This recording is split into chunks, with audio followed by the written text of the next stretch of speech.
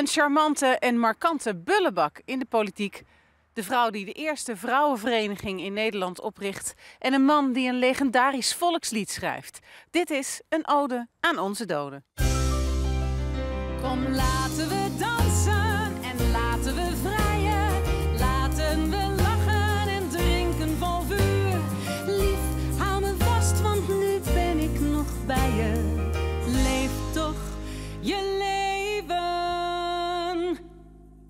het allerlaatste uur. Als je op een begraafplaats loopt, dan zie je vaak hele mooie grafmonumenten. Maar als je naar deze kijkt, dan zie je toch een teken waar je een beetje van schrikt. Want je ziet een hakenkruis en dan denk je toch gelijk aan de Tweede Wereldoorlog. Maar dat hakenkruis is het swastika-teken. Is al duizenden jaren oud en het betekent geluk en voorspoed. Dit graf dateert uit 1910, is dus vooroorlogs. En het is jammer dat een teken wat eigenlijk oorspronkelijk een mooie betekenis heeft, zo bedoezeld is in de Tweede Wereldoorlog. Dit graf ligt in Nijmegen.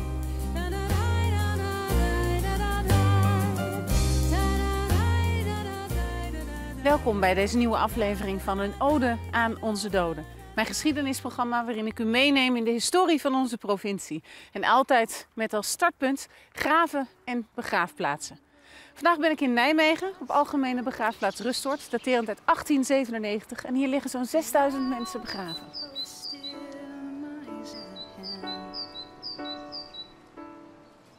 In de 19e eeuw was onderwijs voor meisjes helemaal niet vanzelfsprekend. Vaak stopte het na de lagere school. Soms werd er thuis wat bijgeleerd, maar vrouwen leerden niet echt een vak. En dan was er een vrouw, Betsy Perk, die vond dat vrouwen voor zichzelf moesten kunnen zorgen en dat ze economisch zelfstandig moesten kunnen zijn. En in 1871 richtte zij daarom een vereniging op, Arbeid Adelt. Spoek Verstraten, jij bent voorzitter van de vereniging zoals Hallo. die vandaag is. Ja. Tesselschade Arbeid. Ja, dat klopt. Ehm, dit is het graf hè, van Betsy. Ja, dit is onze Betsy. En hier ligt ze. En dankzij haar, 1833, 1906. Dankzij haar, vertel, dankzij haar. hebben we nog steeds de vereniging Tesselschade Arbeid Adelt. Wat deed die vereniging toen zij hem oprichtte? Ehm, zij kwamen op voor vrouwen uit de gegoede stand, zal ik maar zeggen, die geen inkomsten hadden, geen werk hadden en afhankelijk waren van de familie. Die wel heel mooi konden handwerken en boetseren en schilderen en allerlei andere mooie kunstnijverheid produceerden. Maar zij zei van, nou daar moet je wat mee kunnen doen. Daar moet je ook je geld mee kunnen verdienen. Dus het ging eigenlijk om vrouwen die geen man Ja, konden klopt. vinden. Die alleenstaand bleven. In die periode konden vrouwen alleen maar trouwen of eh, thuis blijven. Ja. En als ze thuis bleven en verder niemand hadden die voor hen zorgde, ja, dan eh, hadden ze een probleem. En zij zeiden, nou dat moeten we voorkomen. We gaan onderwijs voor meisjes pro- propageren. En we gaan zorgen dat ook de vrouwen die thuis werken hun werk kunnen verkopen. Heb je een foto van Betsy? Ja, ik heb zeker een foto in het boek wat is uitgegeven toen eh, wij 125 jaar bestonden. Dit, Oh ja. is, dit is onze Betsy. Lijkt en- me een pittige dame. Het was geen makkelijke tante. Eh, ze had fantastische ideeën, maar door haar karakter joeg ze veel mensen tegen zich in het harnas. Waardoor ze ja, toch eigenlijk vrij snel al uit de vereniging Arbeid Adelt werd gewipt. Ze werd wel erevoorzitter, maar men zei: Nou, je hebt prachtige ideeën, maar we kunnen met jou niet samenwerken. En dat heeft er wel heel veel verdriet gedaan. Ja, je hebt van alles heb, in je handen. Ja, ik heb een Niet het beetje spul van toen, Nee, maar- nee, nee. nou ja, we hebben bijvoorbeeld Ja. Mooie, mooi eh, kantkloswerk. Maar, maar, maar dit soort handwerk werd toen gemaakt. Niet het Ja. hartje, maar wat we hier op zien. nu hè, ook nog wel. We hebben nog Nu steeds dames die kantklossen. Ja. En we hebben nog steeds dames die, nou, borduren. Kopje thee. Ja, mijn moeder had ook zo'n ding. Het is een beetje mo- gemoderniseerd, Voor een maar zilveren tepel. voor de moderne vrouw, zal ik maar zeggen, wordt er ook geappliqueerd. Wat heeft Betsy Perk betekend voor de vrouwen? Betsy Perk is heel erg belangrijk geweest voor de emancipatie van vrouwen. En eh, niet alleen in haar tijd, maar ook tot op de dag van vandaag worden heel veel vrouwen geholpen uit een fonds wat naar haar genoemd is, het Betsy Perk Opleidingsfonds. En daarmee kunnen ze een opleiding volgen en economische zelfstandigheid bereiken.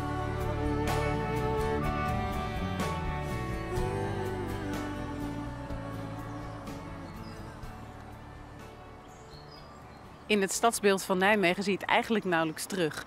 Maar Nijmegen was in de wederopbouwperiode na de Tweede Wereldoorlog een echt schoenenimperium. Dat begon eigenlijk al veel eerder, in 1904, wanneer twee broers, Jan en Frans Verschuur, in een klein schuurtje de basis leggen voor die schoenenindustrie.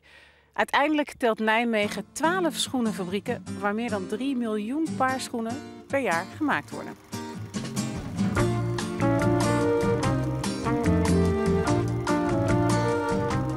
Ik ben vernoemd naar mijn eh, opa eh, Frans Verschuur. Dat eh, was toen eigenlijk normaal. Dat de, de kinderen van de zonen weer vernoemd werden naar de opa. Ik was eigenlijk toen ik vroeger in de fabriek als klein jongetje rondliep, al zeiden ze van al dat wordt de directeur. Terwijl ik eigenlijk niet eens wist wat het betekende. Frans heeft zijn opa nooit gekend. Hij werd kort na zijn dood geboren. Zijn vader heeft dan de fabriek overgenomen. Maar de verhalen over zijn grootvader heeft Frans wel vaak gehoord. Ja, dat is een verhaal wat hem altijd bij was gebleven. Hij ging dan eh, terug vanuit Kleef naar Nijmegen en dan sneed hij uit de leuningen van de stoelen van de trein, sneed hij leer. Die deed hij dan onder zijn jas. En dan maakte hij zelf eh, schoenen van. Nou, dat vond hij fantastisch. En eigenlijk is dat misschien wel het begin van de Robinson Schoenfabriek geweest. Rosalie Thomassen heeft zich verdiept in de geschiedenis van de Nijmeegse schoenenindustrie. Frans Verschuur is in, eh, in Duitsland begonnen en eh, heeft later zijn werkplaats, eh, zijn kleine fabriek, naar Nijmegen verhuisd. En daar is uiteindelijk schoenenfabriek Robinson uit, uit voortgekomen. Jan Verschuur is, is later ook terug naar Nijmegen gekomen en is daar ook voor zichzelf begonnen. En daar is Nimco schoenenfabriek uit ontstaan. En eh, nog steeds hadden zij het probleem dat er eigenlijk eh, onvoldoende geschoold personeel was om de schoenen gemaakt te krijgen in Nijmegen. Juist daardoor zijn zij sneller genoodzaakt eh, geraakt om eh, over te gaan op mechanisatie. Dat is uiteindelijk een slimme zet geweest, want daardoor kregen zij een voorsprong op, op andere concurrenten. En bleef de kostprijs ook, ook laag. En zij konden daardoor ook hogere verkoopmarges gunnen aan de winkeliers. En daardoor is Robinson een heel populair merk geworden bij winkeliers. En verkochten zij het ook graag. En dat heeft gewoon toegeleid dat de schoenenindustrie uiteindelijk ook enorm gegroeid is in een eh, redelijk korte tijd. En die sociale betrokkenheid van toen was eigenlijk veel meer eh, aan beide, naar beide kanten. Dus van richting personeel, richting directie en directie richting personeel.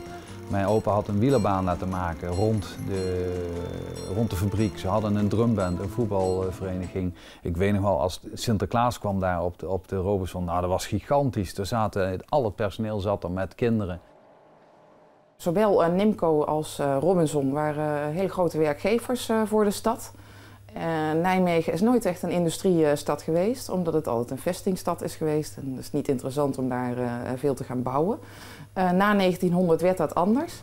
En de schoenenindustrie heeft ervoor gezorgd dat uiteindelijk eh, toch Nijmegen nog een inhaalrace heeft gehad. En eh, ja, Nijmegen heeft daardoor een enorme groei eh, doorgemaakt.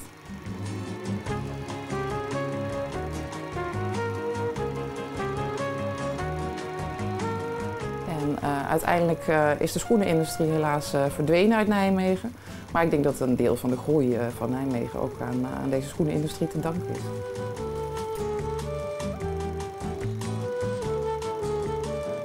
Ik weet nog een mooie anekdote, dat, we hebben stansmachines en daar worden je, de zolen erop gestanst. En toen was iemand met zijn vingers ertussen gekomen. En toen, s s'avonds werd er gebeld om, om zes uur en eh, ik loop altijd met mijn vader mee naar de deur. Nou, mijn vader maakte toen de deur open en daar stond dus een vrouw met twee kinderen. En die kwam ze eigenlijk brengen van, ja, die moeten jullie maar verder opvoeden, want mijn man die heeft nu geen werk meer omdat hij zijn vingers kwijt was. Dus mijn vader keek aan, hoezo heeft hij geen werk meer? Want hij komt nu in een andere afdeling waar hij eh, zijn hand niet zo hoeft te gebruiken als bij een stansmachine. Want daar had je echt al je vingers nodig.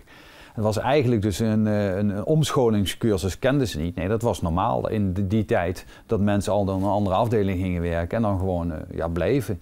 Dus eh, ja, die kinderen gingen ook weer weg. Dus dat was wel een mooi, mooi verhaal, vond ik dat.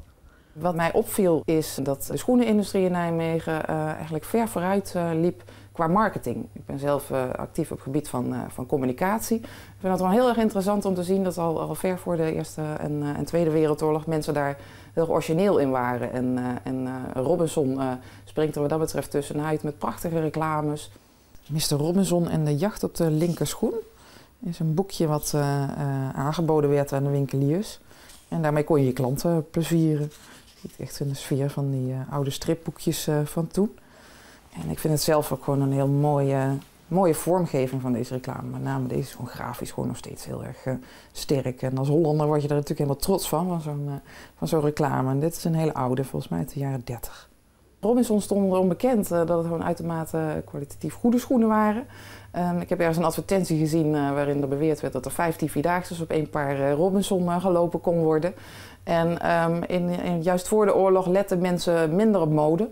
En eh, kochten zij toch vooral eh, kwalitatief, graag kwalitatief goede schoenen. was redelijk nieuw. Men eh, vond dat comfort natuurlijk erg prettig van, van goede schoenen. En wij wilden daar ook gewoon 10, 20 jaar op kunnen lopen. Tegenwoordig kopen we ieder jaar gewoon een nieuwe set schoenen en wil je de laatste mode hebben.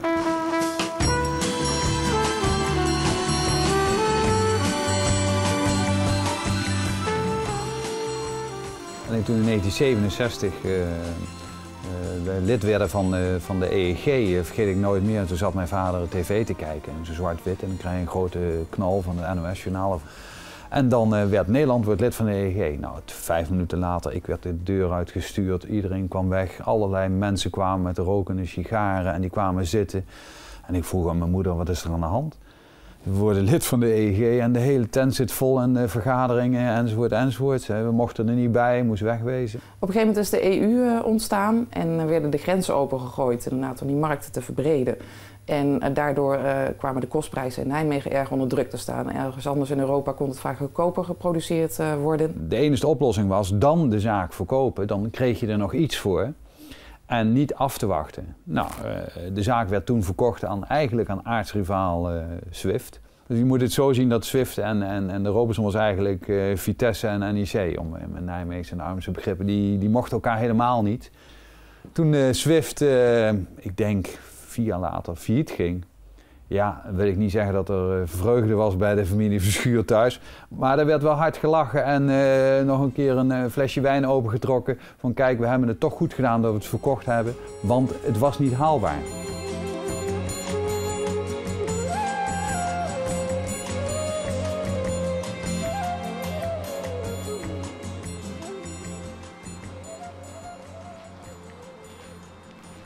Dit portret is van Hendrik Johan Karel Vieweg, geboren in 1831, gestorven in 1904. En hij was een tellig uit een uitgeversgeslacht. Zijn vader richtte in 1837 de provinciale Gelderse en Nijmeegse Courant op. Kijk, hier ligt hij begraven. Boven zie je zijn naam staan. En die krant die was eigenlijk heel succesvol. Maar werd pas de grootste, echt de grootste van onze provincie toen Hendrik Johan aan het roer kwam te staan.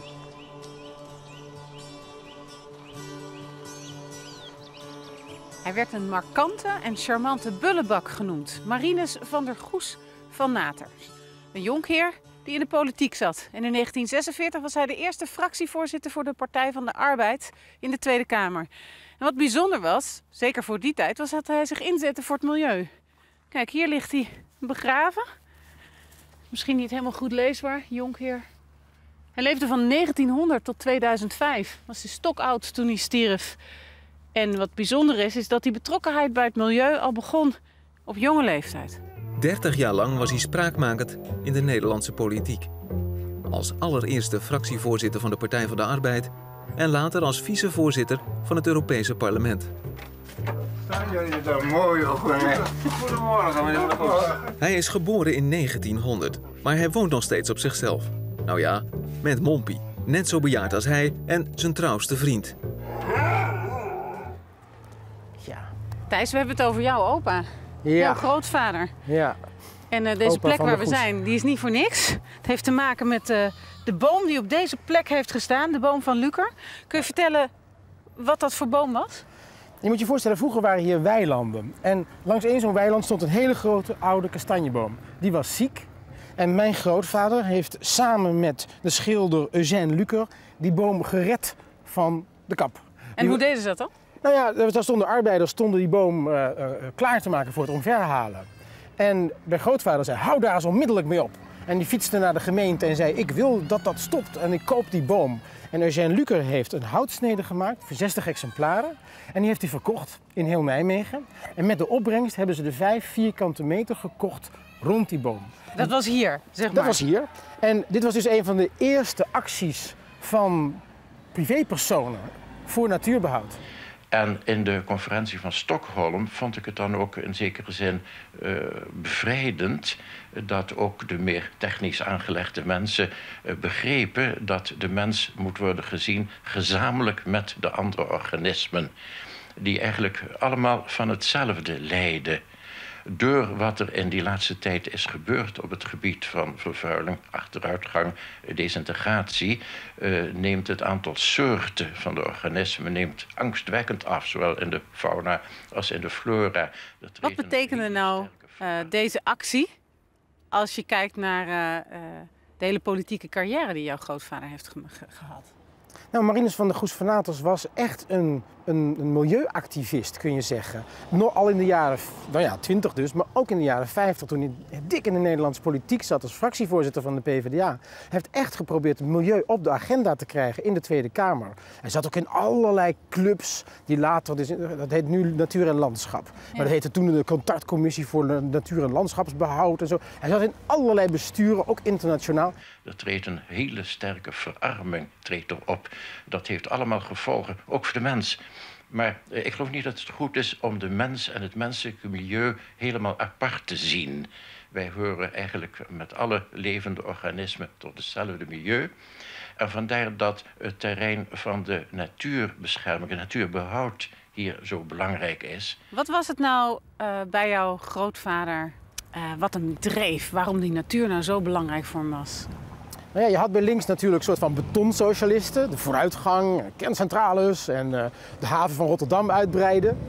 Maar mijn grootvader was juist een socialist van de andere kant. Hij wou de natuur behouden. Hij, hij was een wandelaar. Hij hield van de natuur. Hij ging in de duinen wandelen met zijn vrouw Anneke. Ze gingen naar de bergen. En hij heeft mij ook boeken laten lezen over Darwin, uh, over, uh, over de DDT en de gevaren van, van bestrijdingsmiddelen. Hij heeft mij ook een milieubewust iemand gemaakt, zie je? Dus dat gaf hij door aan andere mensen. En hij wilde ook heel graag dat de sociaaldemocraten milieubehoud echt in het, in het hart van hun eigen politiek plaatsten. Nou, het heeft nog heel lang geduurd voordat dat zo was. De Tweede Wereldoorlog maakte een onuitwisbare indruk op Marinus van der Goes van Naters. En al tijdens die oorlog dacht hij met zielsverwanten na over de toekomst van Europa. Toen werd de kiem gelegd voor de EEG. Hoe zag hij die EEG voor zich in eerste schets? Hij was een enorme optimist over de Europese samenwerking. Hij dacht dat op een zeker moment Europa natuurlijk een federatie zou worden. één grote staat, zoals de Verenigde Staten van Amerika. Dat we diep en diep en diep samen zouden gaan werken op alle gebieden.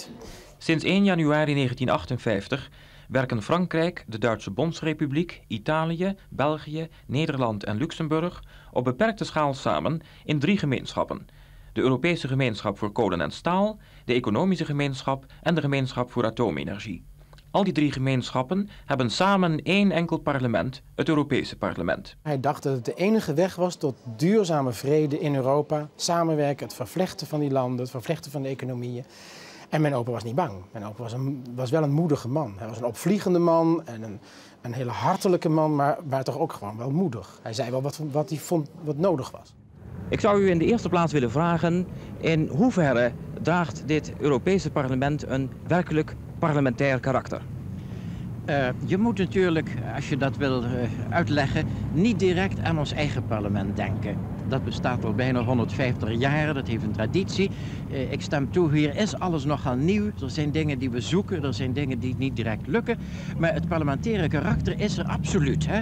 We springen overal op we hebben onze kritiek en we hebben gelukkig een zeker controlerecht en dat oefenen we uit zoveel als we kunnen. Nou, dat is wel het wezen van een parlement, geloof ik. Jouw opa is 104 geworden. Ja. Dat betekent dat hij ook de euro nog heeft meegemaakt. Ja. Dat, was dat, wat, was, wat betekende dat voor hem? Ja, toch wel een bekroning van die financieel-economische samenwerking. Als je allemaal één dezelfde munt hebt. Ja, dat was voor hem weer een belangrijke stap erbij. Maar hij zag Europa toch echt als een kwestie van kleine stapjes. Zo, de grote stappen hadden we gehad in de eerste helft van de 20e eeuw. En dat had veel slachtoffers gemaakt. Die willen we niet nog een keer. Kleine stapjes, democratische stapjes. Dus hoe moeizaam ook. Altijd te weinig, maar wel kleine stapjes. Ook die munt is eigenlijk ook zo'n klein stapje. Voor hem ook hoor. Hij zei, je kan wel klagen over Europa dat niet goed genoeg is, maar kijk nou eens naar 50 jaar geleden. Hoe zag het er toen uit? Het lopen en het zien gaan hem de laatste jaren wat moeilijker af. Maar met wat hulp blijft hij gewoon wonen in het huis waar hij al 62 jaar woont. Ik heb al direct al een, juffrouw die de hond uitlaat, een hondenjuffrouw. Ik heb soms eh, veel meer hulp. En s'avonds altijd van zo'n bureau, thuiszorgbureau, voor me eten en boel netjes omwassen, eh, dat soort hulp. Maar overdag ben ik alleen. Was jouw opa, Marinus van der Goes van Nates, was hij op latere leeftijd trots op wat hij had bijgedragen? Ja, ik denk het wel. Op zijn eh, enveloppe, op zijn, op zijn briefpapier stond jonkheer meester Marinus van der Goes van Natas, oud vicevoorzitter van het Europees Parlement. Dat was de enige titel die hij op zijn briefpapier had. Terwijl hij oud Kamerlid was, oud fractievoorzitter van de PvdA. Maar dat was het echt wat hij, wat hij echt belangrijk vond. Daaraan zie je het idealisme.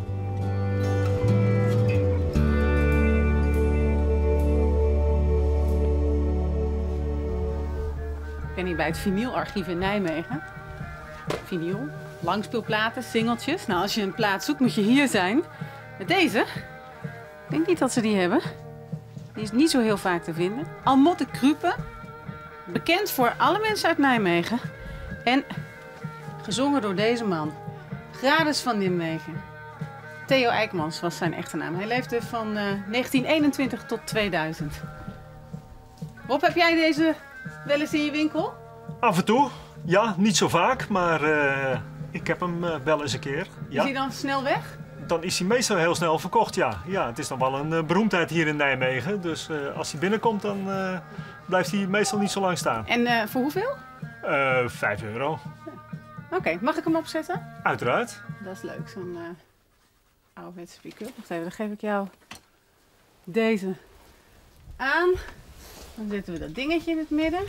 Dan zet ik hem op eh 45 toeren, hè, want dat hoorde met dit soort plaatjes. Even kijken hoor, of het goed gaat.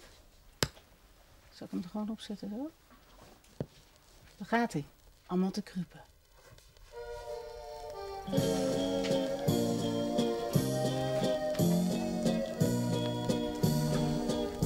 Al mocht ik kruipen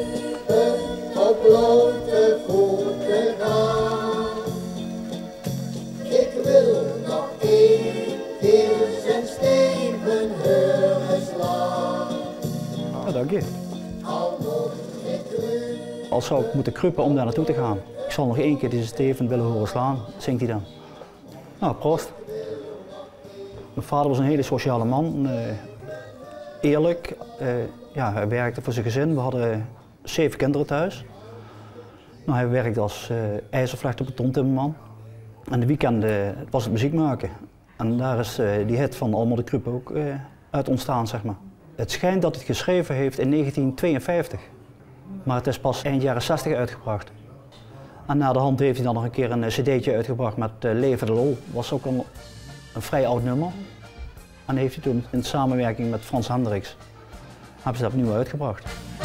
Wie aan de wal geboren is, die zegt lang leven de lol. Frans Hendricks is een bewonderaar van Grades. Hij zorgt ervoor dat Grades een cd kan maken. En natuurlijk wordt Al moet de Krupe ook weer opgenomen. We hadden langspeelplaten, daar stond niet op. Hij stond op langspeelplaten, hij stond eh, op, op oude bandjes en zo allemaal. Maar dat was niet eh, iets waar je kon zeggen, hij ligt goed vastgelegd. De studio die ik eh, kende, waar ik altijd veel mee samenwerkte, was met Rudy Schrijnberg van, van Marty en Emiel Hartkamp. En zo is het verhaal gelopen, zo zijn we ook begonnen. En toen zijn we natuurlijk iedere keer vanuit het Nijmeegse richting Arnhem gereden. Hebben die hele cd opgenomen. Eh, Grades had moeten oefenen de nodige keren nog. Hij kende de teksten wel. En we hebben de drie nummers opgezet. We hebben ook de foto's gemaakt allemaal in, eh, in Arnhem. En uiteindelijk eh, kwam de cd gewoon naar boven toe. Die sloeg natuurlijk weer aan.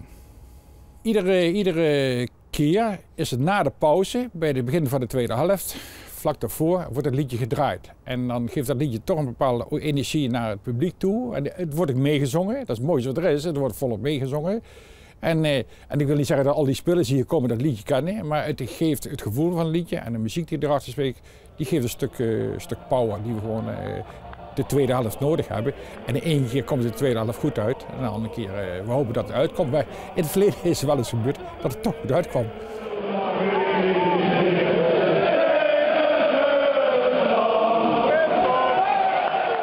Hij was ook altijd vrolijk. Er was geen moment dat bij de pakken neer ging zitten. Was voor hem echt leven de lol, lang leven de lol. En feest bij ons thuis, want ja, groot gezin. Veel kinderen, veel aangetrouwden. Dus een verjaardag, eh, ja, het het was altijd feest.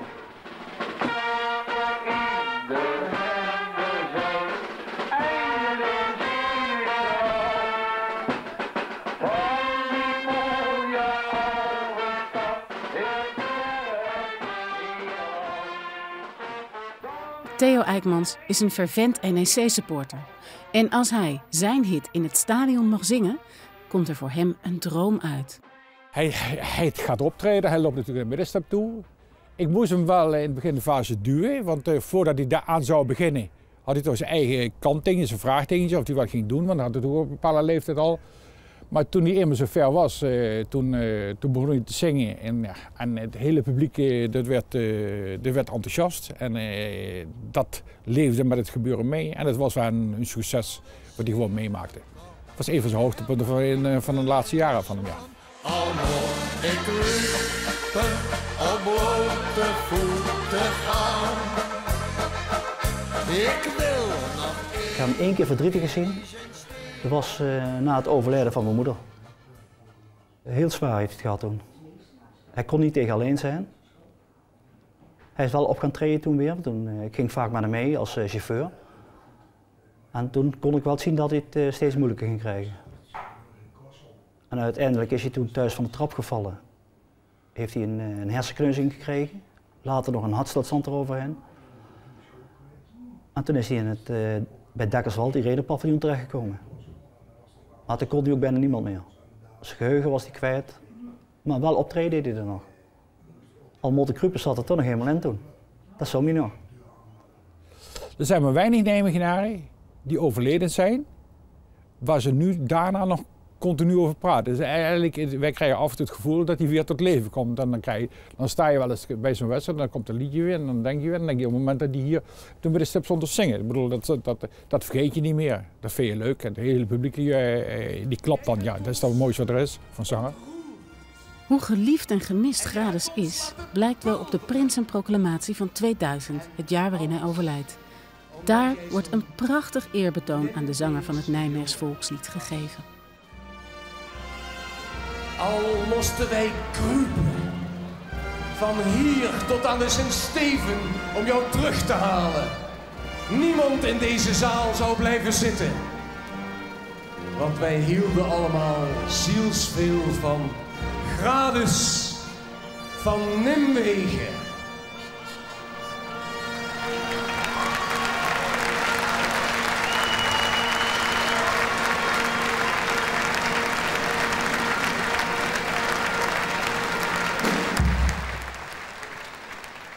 Als laatste deze aflevering het eh, verhaaltje over vier Engelse soldaten die hier begraven liggen.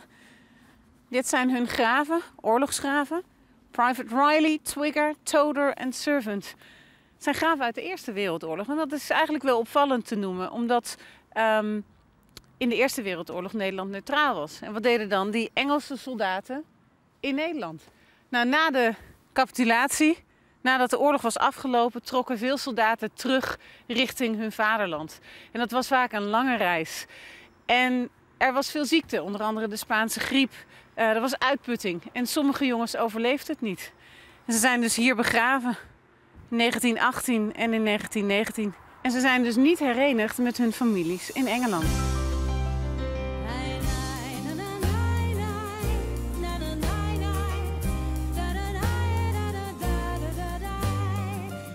Dit was een ode aan onze doden voor deze week. Volgende week ben ik in Velp en Roosendaal. Heel graag, tot dan.